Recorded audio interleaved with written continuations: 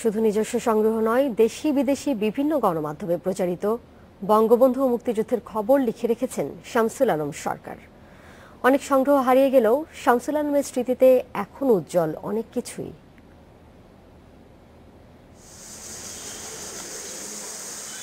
বগুড়া পল্লী উন্নয়ন একাডেমির অবসরপ্রাপ্ত কর্মচারী শামসুল আলম মুক্তিযুদ্ধের সময় তিনি সবে শেষ করেছেন এসএসসি সমমানের পরীক্ষা।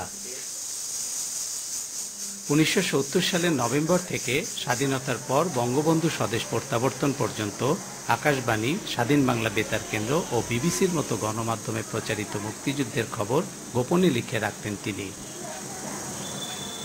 প্রায় চোদ্দ মাস এই কঠিন কাজটি করেছেন একটিমাত্র রেডিওর উপর নির্ভর করে। তিন ব্যান্ডের ওই রেডিও, চার ব্যাটারিতে চলত সর্বোচ্চ চার মাস।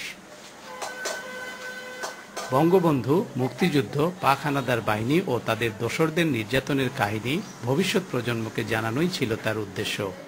বিশেষ voice of America, BBC London Kolkata, New Delhi, এই খবরগুলো সংগ্রহ করে প্রত্যেকদিনের খবর, সময় এবং তারিখ দিয়ে দিয়ে খাতায় লিপিবদ্ধ করে রাখা। যে ভবিষ্যতে প্রজন্মের, ভবিষ্যতের ইতিহাসের যেন কিছু তথ্য ওখান থেকে ভবিষ্যৎ প্রজন্মরা জানতে পারে।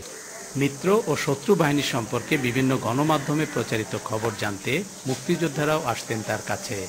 চোদ্দ মাসে অন্তত এক হাজার খবর লিখে রাখেন তিনি। কার কারা যুদ্ধ করেছেন? কোথায় কোথায় প্রথম হানাত দেওয়া হয়েছিল?